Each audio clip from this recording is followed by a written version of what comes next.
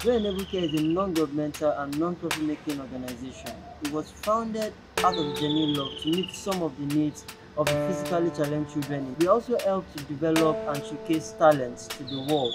I watched how a woman single-handedly raised 25 kids. It's been 10 years now that this home has been running and it kind of makes me wonder how she was able to do that. I've been so overwhelmed after my visitation seeing how these kids respond like human without no physical challenge. One of their basic challenges is feeding, schooling, and a bigger space to accommodate them. And despite their challenges, they are so smart, they're so brilliant, they're so intelligent, physically, mentally, spiritually, morally sound.